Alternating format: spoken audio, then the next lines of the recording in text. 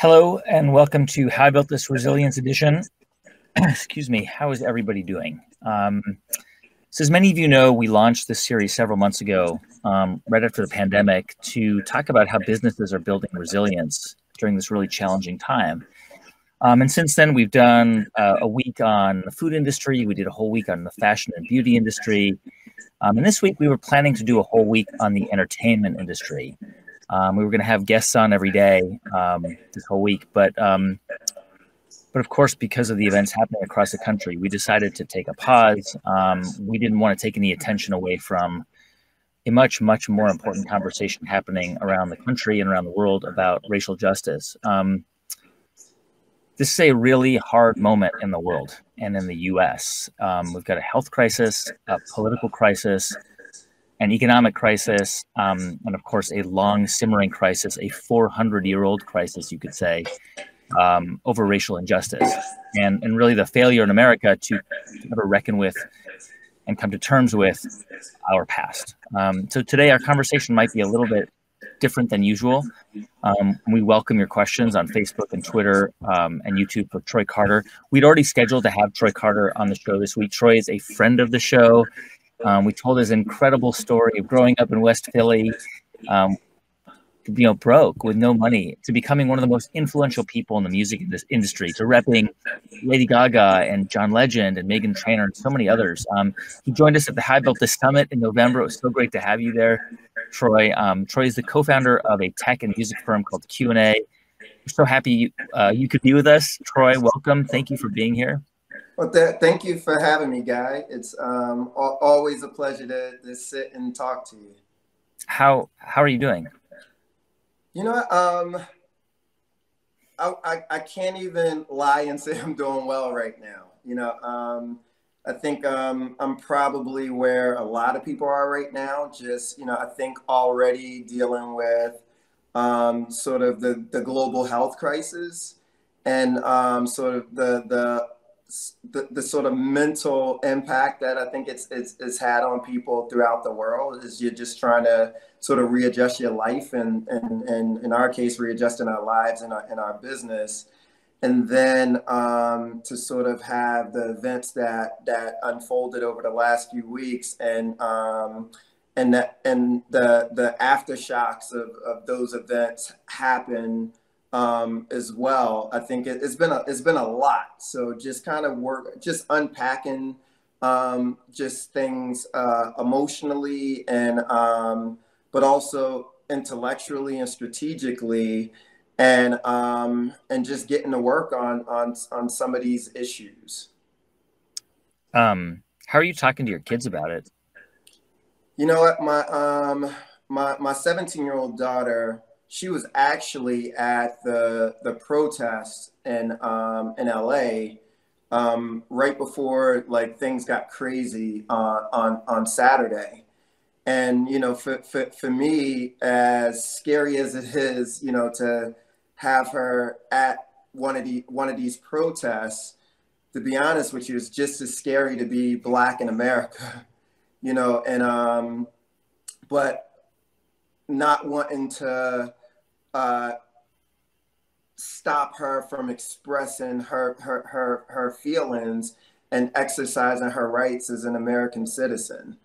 And, you know, on the phone with my 24 year old son, as, you know, you got protesters going throughout his, the neighborhood that, that, that he lives, um, just making sure that he's physically, physically safe. So, you know, I think, you know, for, for me, this is, this is, where I think is, a, is an eye-opening moment for a lot of people in America. Just to, to be honest, this is like everyday life for a lot of um, African Americans in, in, in, our country. And, um, you know, recently I was on a trip uh, um, probably five months ago with my YPO Forum, which is, you know, Young Presidents um, organization. And we did a retreat to Mexico City and it's 10 of us and we get out of our um, out of the SUV to pull up to the hotel. All of the guys go in the back to get their bags, and soon, the moment I go in the back to get my bag, I get attacked by security, like physically attacked by by by, by security. and it was their, you know, and I'm the only black guy in my YPO forum, and but it was a crazy moment because you know they've heard me talk about this before, but to actually see this in in, in action, and um, but it's it's just this bias that's kind of built built in.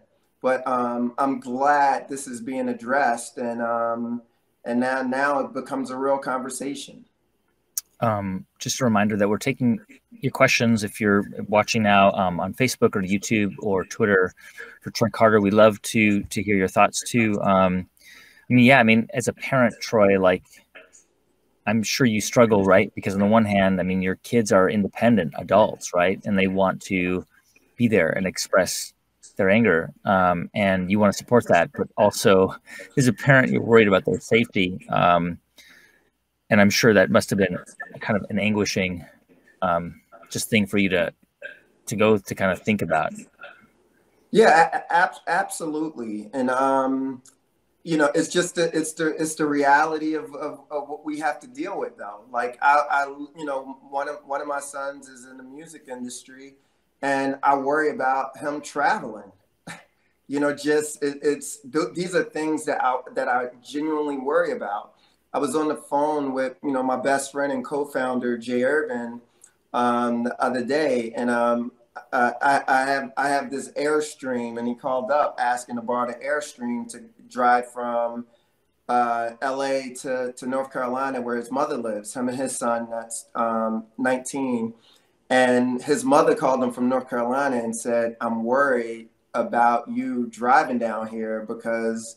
You know, the South is still the South you know so i i i rather we wait this wait this out. But when you know when he and i spoke it's like this is like a conversation that a mother would have with her son in the in the 50s or 60s during the during the civil rights movement and the fact that we still have to worry about you know our lives as we drive across the country to do to do a road trip. It's just a different set of of concerns that we still live with as parents and as and as, and as citizens.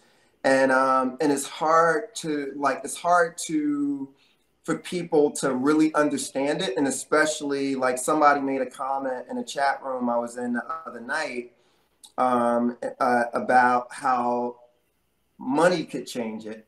And i'm like it doesn't it doesn't money doesn't matter. And and power doesn't doesn't matter is like you know it's it's a ma- it's it's just this bias that that's sort of baked in with with um, in the in the recipe of, of, of America that that we that we've had to live with. But now I think what we've seen that's different with these protests, it's um, this is this is what I consider just a merger of the left behind, like where I, I feel like you know, with George Floyd, this, you know, that was the sort of spark of the, of the fire. But yeah. I think underlying this was a, a merger of the left behind, where this, this, these are white, black, Asian, Hispanic people that have been, you know, saddled with student debt, people who can't pursue the American dream because of just the way that the um, the economic divide right now. People who feel like you know they that they're not going to have their shot. And I think we what we're seeing in the streets right now is just a merger of all of this built up frustration. You know, Troy, I I mean, it's amazing because I, I used to be a news anchor. I used to host, I was one of the hosts of All Things Considered 10 years ago um, on NPR. And I mean, in this past decade, you know, we've had Trayvon Martin, we've had so many examples, but I mean, huge movements that were launched because of these these cases, right? Um, Michael Brown. I mean, it feels like we we're sort of. Uh, it's it's strange because already ten years ago, I, I feel like we started to have these conversations and nothing has changed, and it's um, it's just very very depressing. I don't know. I don't know any what any other word to, to use.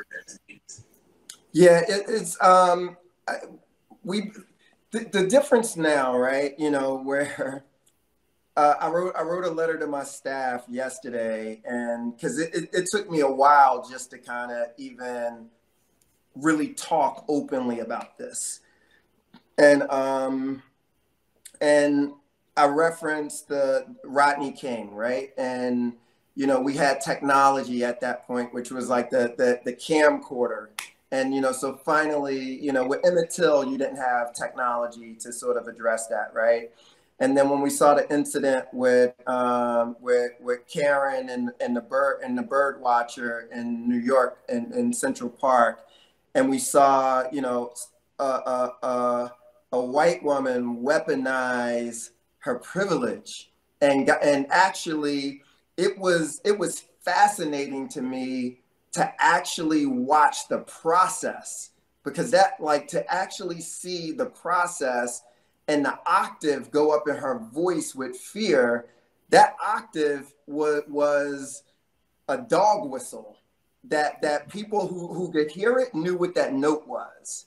And to, to see the to see the process of, of privilege in action, I think hit a nerve with people because people aren't used to actually seeing that and then seeing an innocent person on the other end actually do that what kind of pissed me off with it though, you know, in the news the next day, you know, I'm reading the New York Post and everything, and it's talking about, you know, the guy had a Harvard degree, you know, he he was a bird watcher, he's on the board of of, of this, you know, society and these things. Who cares? Right. He was a, and it, he was. It, we shouldn't have to justify any of those facts. He shouldn't have to have a Harvard degree or yeah. be a bird watcher to be an innocent person being accused of, of, of something like that that could have ended up in, in him being arrested or, or, or his death. And this happens so many times per day throughout America. And, you know, I think what, what, what, what's happened is within this truncated period of time, people have been able to see these things all back to back on camera within a matter of a few weeks at a time when people have had this pent up frustration from being in their homes, being away from their friends, being away. And so people are just, it's just bursting at the seams right now and, and, and, and all of this frustration. What I hope is that this isn't a moment that this isn't just a, a, a, blip on our historical radar that this can be a catalyst for change. Because like it because if if if it isn't if this is just a moment shame shame on america. You know troy i um i lived in germany for for two and a half years as a as a reporter from 2000 to 2003 um and what, what really struck me about Germany, and Germany is an imperfect country. There's racism, there's anti-Semitism, um, and but Germany, I mean, I I am related to many many people who were burned at to ash in concentration camps. My grandmother would never set foot in Germany. Neither would my grandparents. None of my grandparents would.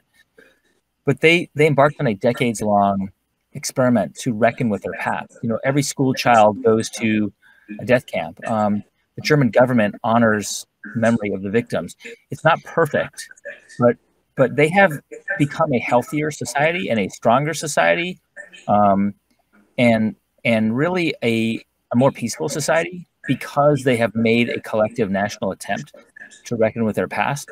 Um, it really struck me tw- 20 years ago when I lived there that, um, and I'm embarrassed to say it took me that long, but you know, I remember thinking the United States has never done that.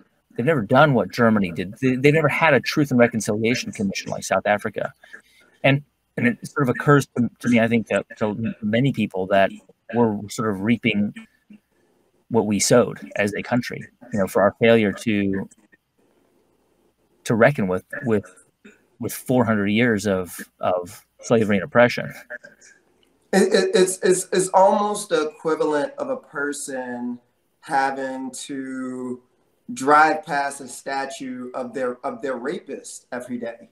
So so like in, in, in America where you still have statues of oppressors and and sort of um, you know with I, like only five years ago I remember you know where uh, we were managing Meghan Trainor, and we went on this uh, a state a tour, a concert tour of state fairs, and um, this was our first time doing it. So I decided to take my wife and my two daughters, um, and we, you know, we're on a tour bus, and we get to um, a place. The first stop was a place called Troy, Pennsylvania, ironically, and um, and we got off the bus and I remember my one, my daughter who's six now was one, so she was just starting to walk, and and me and my daughter who's 17 now were walking through the fair, and it's all of these merch stands with uh, Confederate flags,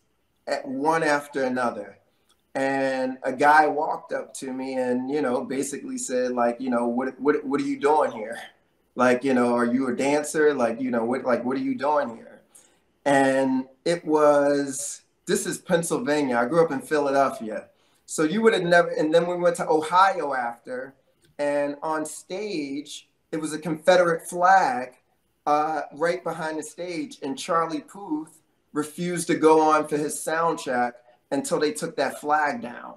It's like so. This is five years ago, so we're still reminded of our place in, in, in this country. So you'll never get the tr- to reconciliation. We all know the truth, but we'll never get the reconciliation. And then when you look at um, forward progression, you look at, you know, next year we celebrate, you know, well, well we not even celebrate, we look at the horrific um, events of, of, uh, of Black Wall Street and when it was, you know, in Tulsa, Oklahoma. Yeah. yeah, in Tulsa where it was an entire um, black community that that was progressing after Reconstruction that was burned to the ground because of a, a, because of one of those Central Park Karen moments, by the way. And um, so when you when you want to talk about looting and you want to talk about ter- uh, uh, domestic terrorism, over 300 people were murdered in the streets. Um, black-owned banks were burned. Black businesses were burned um, and it and it decimated this entire town. And this was like just what it, it was a, a, an example of one moment where there was for, forward progression within the African American community. Since then, it's been fear around being able to build these communities, or even a fear of showing wealth and showing forward progression because of these types of these types of things. So even during the 60s and 70s when you had things like affirmative, action coming into coming into place. You had um, uh, uh, black corporate executives coming into America, people building black businesses. They had they they had to assimilate because you couldn't you couldn't congregate. So when you see communities that that are thriving across the country, whether there's um, Asian communities, whether there's Jewish communities, whether there's you know uh, these these other communities where you see this forward progression and people shopping within their own stores and spending their own dollars within their communities. There's a reason why that's not happening in, in, in, in, in America right now with African Americans if you really do your homework. You know, um, it's um, it's such a it's such a, a weird moment to talk about um, the entertainment industry or anything really, because uh, I think my mind and, and, and the minds of so many people watching um, is, is focused on this really um, just overwhelming conversation, the events that are happening. But um, I mean, but you are in the entertainment industry and you are really influential in the industry. And I want to I want to ask we actually getting some questions um, through YouTube and Facebook for you about that. Um, and, and, this is from Andrea. She's asking, um, she says, doesn't feel right to me to be all over social media with anything other than um, BLM content, Black Lives Matter content, um, or even to release non political music right now. What are your thoughts on releasing music in the coming weeks? I, I, I think music is a healer. And, and, you know, I think at the end of the day, we still need things that are going to uh, make us smile, bring bring people together.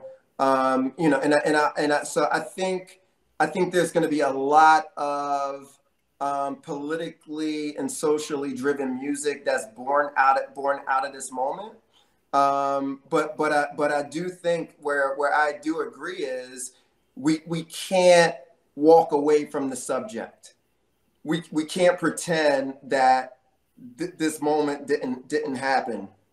But in, you know, but I don't think people should be tone deaf in this moment and you know and and and uh, and not address it. But I, I but the way I feel like where I know like last night I got sick of watching the news, like you know, because I've been glued to you know between going between CNN and Fox and trying to see the contrasting messages and and and those things, and I, I just needed some Netflix for a second just to take my mind off of it. So so hopefully people are still releasing content where we can step away and sort of refresh and, and, and have a moment where it just doesn't break us down completely. Um, I mean, speaking of of the entertainment industry, I mean, we're also in the midst of an economic crisis and a, and a global health crisis. How do you? I mean, how is from what you know and and and because you're so plugged in and, and follow it and are involved with it, how is the overall situation affecting the production of music, recording music, recording albums, collaborations, um, videos, um, obviously live concerts too? But but how, how is it affecting the, the industry right now? Uh, you know what? It's um, the good thing with the music industry. Uh, our uh, the, our product the, in, in, on the, the record side is mostly digital. So you know we had the luxury of not having to rely on manufacturing plants or trucking and all of those things to get our product you know from here to there. And if we were still in the CD business, we'd be really screwed, you know, if people had to actually go to a store to, right. to buy the product. So I think on that side, you know, we're, we're you know, we're, we're, we're fine.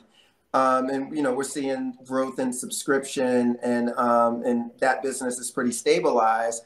On the touring side is just, you know, is, is catastrophic.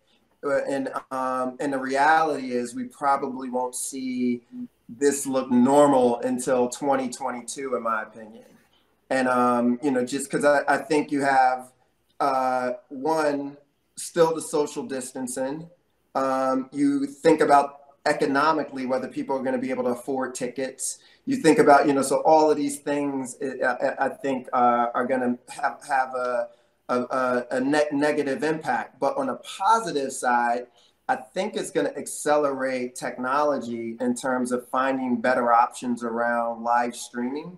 You know, with with um, we we've seen a lot of things come out of like whether it's Instagram and and some of the other platforms uh, and people going live, but those platforms weren't really built for music experiences around it. So I think um, we'll, we'll, see some acceleration there, and uh, and now I think you know, when, when we looked at like China and, and, and South Korea and some other places, you'd see a lot of, of the bigger artists doing live streams and they have like the, uh, the virtual gifts that and the tips that you can give to artists. So both the fans were used to that and the artists were used to that. But in the West, big artists thought that that was for like the do it yourself type of smaller yeah. artists. And um, but now I think we're seeing this shift where big artists are are are now used to it and liking the experience and, and feeling this direct connection with the fans. And I think the fans feel like this intimacy now where I think going to concerts and seeing this big production, people people want to see you in your home right now and see the background of your house and like, you know, kids walking past and, and yeah. you know or, or, you playing in your parents room so i think we're going to see this intimacy come about as well yeah i mean um, and by the way anyone watching if you haven't heard troy's episode on how i built this it's one of the best of all time it's it's a it's an epic journey it's a hero's journey through ups and downs and crisis and collapse and triumph and everything in between um, and I mean, you really began as a concert promoter. I mean, that's how you started. I remember you talking about these small venues in West Philly and and getting ca- bags of cash and getting into the bank and um, and then of course driving up and down California in a van with with Lady Gaga. I mean, concerts and live events are so much a part of your early success. Um, and there's a magic to it. There's a magic to being in a space with a lot of people and connecting with a lot of people. And I wonder whether I don't know. I mean, you say 2022, but I wonder whether it will ever come back? I don't know. Is that a crazy question to ask? Well, I, you know, I know like where I think I think it'll come back. You know, I, I think, but at the same time, I think technology can provide a, a, a, a rich experience when you think about sort of augmented reality and virtual reality. Um, I was just telling a friend recently, like where in in, con, in concert, the live concert experience is good in one sense, terrible in another sense, because only a small percentage of people have really good seats, by the way. Right. So, you know, so because some of the seating is just terrible, like where you don't see the details. And artists work so hard on like these details and the nuance with lighting and all of these things. And I think technology can provide everybody with a much better seat and a much better experience than even being there live. So I, I don't think live would go completely away, but I do think technology can provide a, a very rich experience. And if I'm over the age of 65, I'm sorry, but I'm not going to a, a, a U2 or or Eagles concert, you know, with with a hundred thousand people in, in in the audience, right? Um, so I think you know, seeing some of these legacy bands is going to be tough, you know, just because with with you know, sort of short of a vaccine and and all of these things, I don't think people are really going to take that risk. Yeah. And um, so, but I do think this is going to provide a, a good opportunity. I want to talk to you about your business Q and A because um, you launched this last just last year, right? And and and starting a company in normal times is already hard. And you've known you've launched several companies and have been really successful as an investor and entrepreneur. Um, now you've got this new team. I think you've got more than 30 people on your team. It's a music and technology company. Um, tell me a little bit about how you, as an entrepreneur and a, and, a, and, a, and a founder of a business, are just kind of dealing with it as a as a business leader. How are you dealing with your team? How are you guys getting your work done? How are you thinking about your business model? Um, because I'm assuming that even even with a resilient, you know, company like the one you've built, you probably are still facing some some choppy waters ahead. Yeah, I, I got. It, it's funny you you got by now, guy. This is I think this is our third interview, so so you get. I think you know me well enough to know I'm a little crazy when it comes to like uh, risk and and and taking taking swings. And what I realized is all three companies um, that I founded now were started during crisis. You know, I think the first first one was like uh, during the dot com bubble, and uh, the second one, you know, when I signed Gaga was during the you know the the 2007 2008 crisis, and then of course now now we got this one. So um, so so I think it's you know there's definitely opportunity when people are running the other way, and because I and because I, I, I do think to to this whole point about resilience, when you have founders who are willing to take a take a, a go at starting a company now, you know they really got guts, right? Um, where I think the opportunity and where we got lucky with this one, with the software that we're launching for the music industry, um, a lot of it has to do with work from home. And we didn't um, predict that when we when we started it. And you know because we're building out workflow systems for the for the music industry you know which on the software side nobody ever really focused on it. And we just felt like um, it was a, a, missing link and when i went into spotify and worked for spotify for that two years one of the things that i saw was like okay Spotify has some of the best technology. You know, they have a ton of engineers, some of the smartest people in the world solving their solving problems. And on the music industry side, we never really invested in technology. So, you know, when I left, I just thought a lot about um, about us as a team being uniquely qualified to go after that problem. So that's what we're working on. Um, we're getting a, a, bunch of questions from YouTube and Facebook um, along the lines of some of the things we are talking about earlier. Um, this, this is comes from Space Magic, Space Magic from YouTube, um, and I'll kind of paraphrase the question, which is, you know, obviously a lot of very big artists um, have spoken out and have been very active in in in, in speaking out about racial injustice. Um, and and the question is, how do other content creators, from your perspective, how can they contribute um, to the conversation um, through their through their art and their music? Um, what are what are some ideas that that people can can sort of um, take away to, to to to contribute in a positive way? Yeah, I, I think some people have been.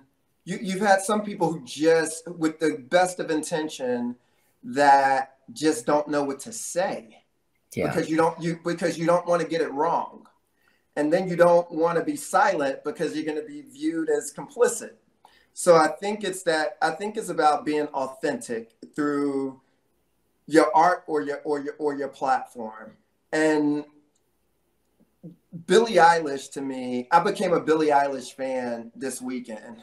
Like, cause I, I already like, I, I, really liked her music a lot.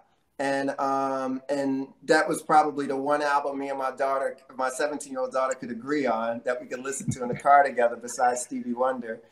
And, um, but her message to her fans was, was, was wonderful. And it was so authentic and it was and it was honest. So where the expression may not come out through your art in itself or a song itself, but if you could be authentic about the way that you're feeling and recognize the the the injustice that's happening, just say it. Just say it. And yeah. and don't don't be scared to to alienate uh fan groups that may disagree because as an artist i think it's, it's your responsibility that's what art's about that's what true art is about true art is about expressing what's what's in your heart being able to um, really really talk about what's going on in the moment and be, and be a, be a voice for the voiceless through through whatever your medium may be so whether that's filmmaking, whether that's photography, whether that's poetry, whether that's music, um, you know, just be authentic about it. But but I would just say don't be silent. Even yeah. if you don't know what to say, just just say say say say what's on your heart. Um, I love that advice. Thank you for that. Um, this is a question from um, Nat Irvin um, from YouTube. He asks, "How are you? How are you communicating with your team right now? I mean, you've got a team, you've got a, a business and a company. Um, is it is it regular Zoom calls? Is it? I mean, are you able to function more or less in a normal way?" Yeah, we were. You know, for us, it was really easy. We we went into shelter at home um, probably a few weeks before um, it was it was mandated in, in, in LA. Like it's funny when I saw when I saw Jeff Bezos and, and Google and Spotify do it, I'm like, they have a lot of data.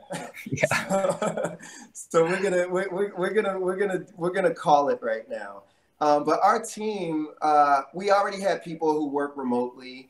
Um, our business was easy to sort of readjust. We, you know, we had a, a, a Google Meet culture already, and then and we're super communicative.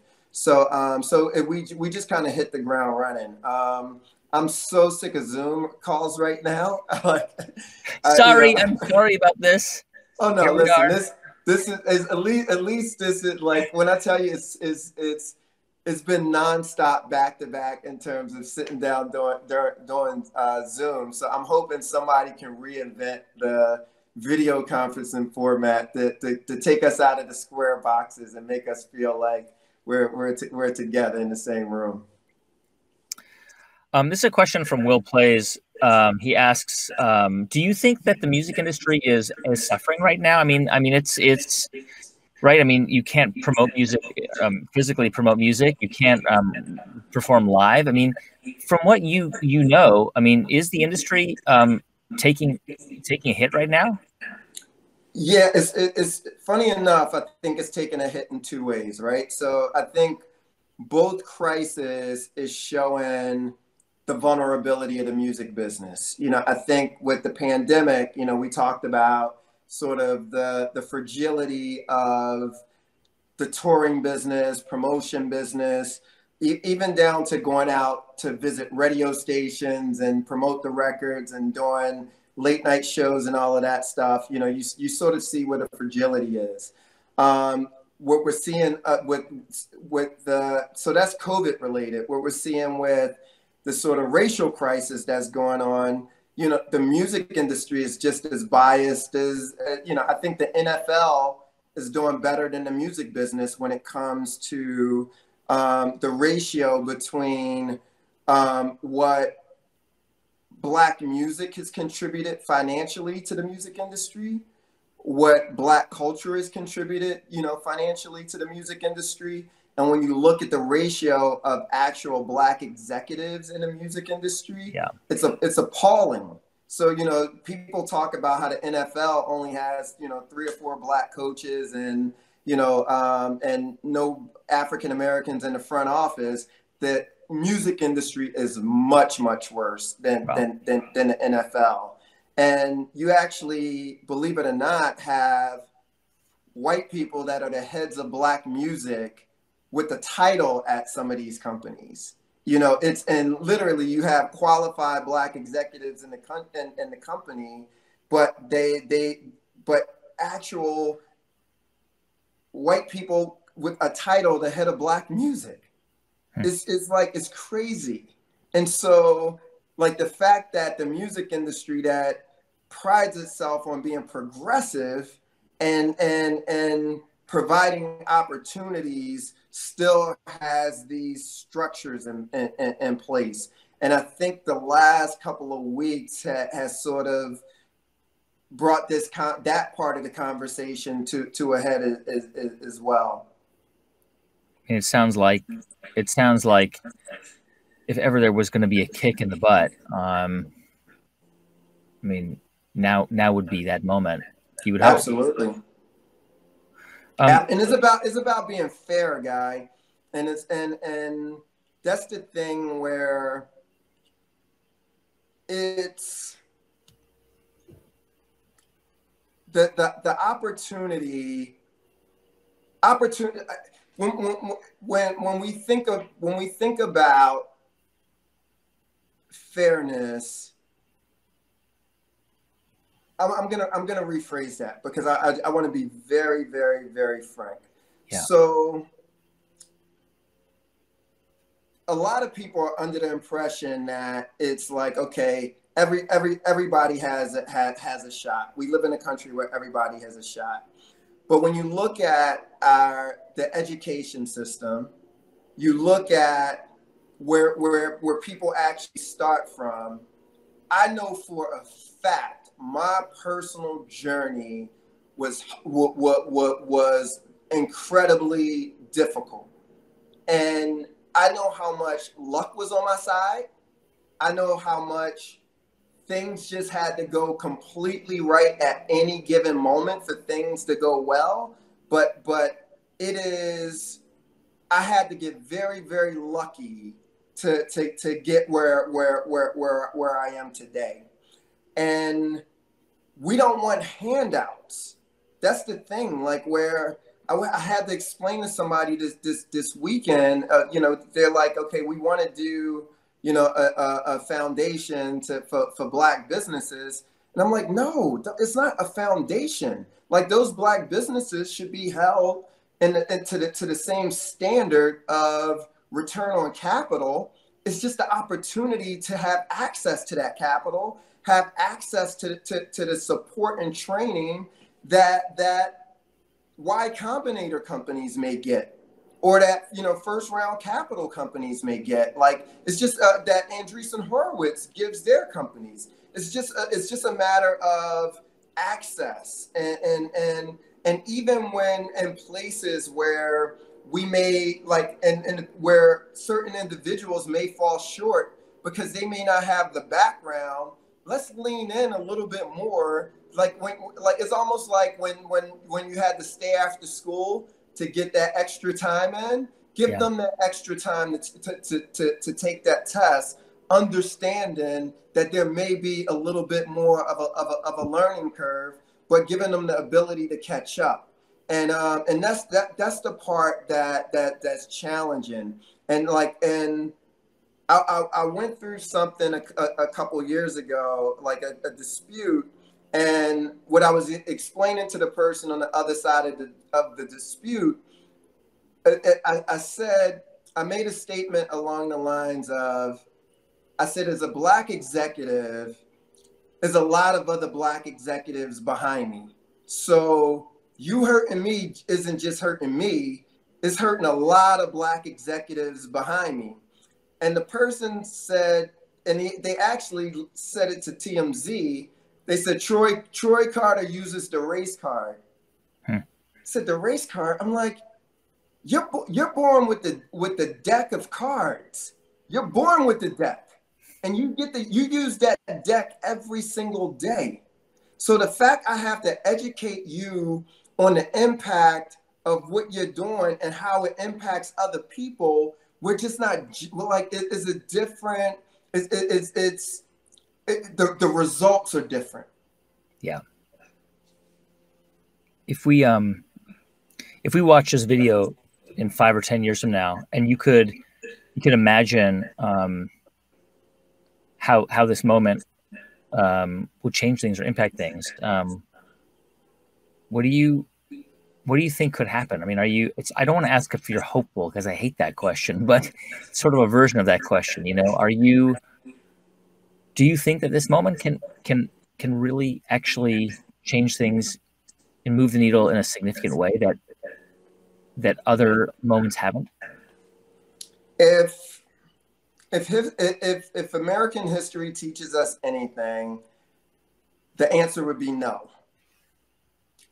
And but as a as a as a as an entrepreneur and somebody who is just crazily optimistic about about everything, I am optimistic that this is going to have an impact on this generation who may not put up with what they're seeing right now because it impacts them on a personal level as well. So where race may not be race may not impact you, but I can promise you the lack of economic opportunity is going to impact a lot of people. That's going to be the big that's going to be the bigger impact guy. And that's the part that nobody's talking about right now. It's like it is the the the the where, where where we have a lot in common in terms of across every single race and and uh, and ethnicity and, and, and, gender. It's um and, and, and religion is economic divide. Yeah. And and and, and with economic divide that's when we're going to see opportunities go away. And so if we're looking in 10 years 10 years we're going to see the impact that technology is going to have on the workforce and, and how many jobs are going to go away. And, at, and, and when we look at where education is right now, and, and, and education won't keep up with technology. And if we look at um, how, how fast things are moving, in 10 years, people will have even more in common. So I think right now is the time where we could at least try to get ahead of that. Try, climate change is going to be a, a, a, big conversation that we're all going to have in common. Yeah. So we need we need to have a lot more empathy right now. I just I just I just beg people just be empathetic. Take yeah. down bias for, for for just one second and just look at the history of what's happened with race in our country. Just look at it Look at what happens in communities in our country. Look at like where it, it, when people talk about black on black crime, people talk about what's what's happened in family structures. What, what look look at look at the, the psychological impact that slavery has had on families where I couldn't imagine my kids being torn out of my arms. Yeah. I couldn't imagine being pitted up against another black person because of our, the different shades of our skin because I'm darker than this person and they're lighter than me, and we're pitted up against each other. I couldn't imagine. I couldn't imagine all of these things, and and so to to just have some empathy around around, around this issue. Let's just admit that we got it wrong as a country and go and, and, and take a step back and try to fix this moving forward. Let's just try let, let's have some empathy right now. Yep. Troy, um, stand by. I wanna I wanna briefly just say hello to some folks watching. I'm not going to get to everyone's name. I know there are a lot of questions for Troy, and I'm sorry we couldn't get to all of them because we're we're out of time. But just a quick hello to Joy Fennell in Harlem, um, Melissa Serays in Michigan, Mary Eileen in Amherst, Massachusetts, Nasra Al Hashmi in the Arabian Gulf, Joanna Langston in Leicester in the UK, Elsa Jungman or Jungman in San Francisco, um, Will Plies in South Africa. Thanks for listening and watching. Anna Manzaro in southern Spain, Adrian Corcoran in Canmore, Alberta, in Canada um, so many others um, in New Delhi, Piyush Srivastava in, in New Delhi, um, Amy Montgomery Cornett in Florida. Thank you. So many more. I can't name them all. Um, we're going to be back here today um, for another conversation at 6 p.m. Eastern, 3 p.m. Pacific. For a conversation with Kevin Hart. That was also scheduled for this week. I know uh, Troy. Tell, tell Kevin I said hello. I will Kevin's say hello from you. Um, I know you guys are both from Philly, and um, so we're excited to have Kevin join us here, right here at um, 6 p.m. Eastern time today. So please join us for that. Um, you know him as an investor, but he's got this incredible new Audible uh, book out um, about about you know about him and and and managing how he sort of manages resilience um, and and how he thinks of, of, of, of, about leadership. So we'll be back here in case you missed um, any of my conversation with Troy. It'll be up on our Facebook page, facebook.com slash how I built this, or on the NPR Facebook uh, YouTube page. It's um, uh, easy to find. Uh, we're also going to post an excerpt from this conversation on our podcast, so look out for that. Um, and finally, we have a brand new episode of How I Built This. It came out Monday. We're still dropping new episodes, and you know our production timeline is, is far in advance. We take two, three months to to put the shows out. Um, I probably interviewed you, Troy, six months before your episode actually was released because we do a lot of production. Um, so we have a new episode. It came out Monday. It's a really cool story about Sub Pop, the history of Sub Pop with the founders of Sub Pop. Um, and and that's it. We're going to be back here um, later today with Kevin Hart. So join us then. Troy Carter, um, so great to have to see you. Um, so great seeing you in November in person in San Francisco. Um, thank you for joining us. Thank you for um, just being here and your wisdom. And um, hope to see you when we get when we're all able to see each other face to face again. Yes, and thank thank you, Guy, and thank thank you for giving us this platform. We appreciate it. Thanks.